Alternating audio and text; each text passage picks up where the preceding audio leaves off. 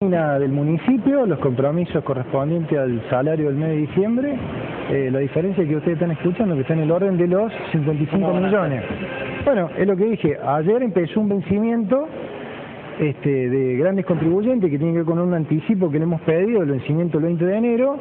Nosotros apostamos que ingresen este recurso, pero la verdad que hasta, hasta que yo, eh, imagínense que recién el banco abrió hace un ratito, hay muchos cheques en cámara, eh, los contribuyentes van a seguir pagando, me imagino que hoy, así que entre el día de ayer de que están en cámara, más el día de hoy, más las bocas de cobro que tiene el municipio, ustedes imaginen que hay convenio con alrededor de 50 eh, prestadores de cobro, aparte de las bocas propias del municipio, en el transcurso de la tarde vamos a tener una idea más cierta de cuánto es el bache aunque tienen plazo hasta mañana. Tenemos plazo hasta mañana, pero eh, la situación es día a día. Esta, esta es la verdad y, es una situación incómoda la que nos toca en este momento. ¿Qué hay por cobrar en este mes? Por cobrar, miren, lo hagamos desde este punto de vista.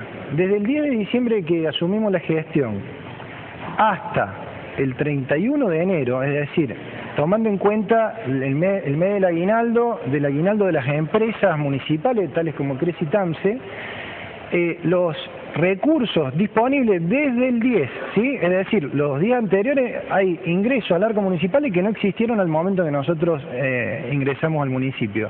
Están en el orden de los 110 eh, millones en diciembre y 130 millones en todo el mes de enero, ¿sí? Esta es la proyección. En el orden de los gastos tenemos 160 millones en diciembre, desde el 10 de diciembre en adelante, y 180 millones en enero. Es decir, que la diferencia es la que venimos sosteniendo este, sistemáticamente desde los primeros días de la gestión, que está en el orden de los 110 millones. ¿Y con esta producción que usted hace, le va a alcanzar el dinero para pagar los salarios o qué van a hacer con los empleados municipales de acuerdo a esta proyección que usted viene manejando? En el transcurso de la tarde vamos a tener este, un número más concreto para decir. ¿No qué va a pasar de ¿Descartan la posibilidad de pagar el sueldo desdoblado? No, no, en el transcurso de la tarde vamos a ver el número y en función de eso se tomarán las decisiones. ¿Se van a reunir con gente de los, los sindicatos? Seguramente va a haber reuniones, hay reuniones cotidianas y se, digo, se trata de mantener un diálogo. Sí, esto es una, a ver, esto es una situación en la que estamos todos involucrados, eh, trabajadores y funcionarios. ¿Se entiende? Digo, nosotros le estamos pidiendo a los vecinos un esfuerzo complementario.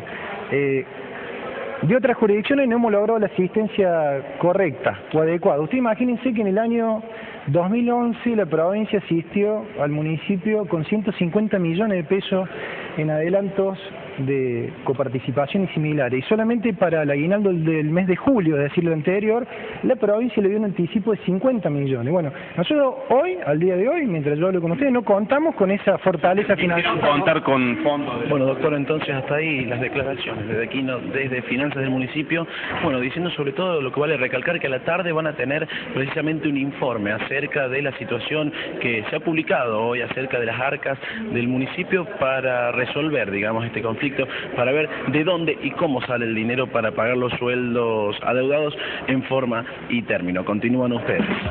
Gracias Julián, desde el CPC Pueyrredón, amigo, en la mañana todo lo que ocurre con el conflicto con la municipalidad y el pago de La búsqueda de la plata para los búsqueda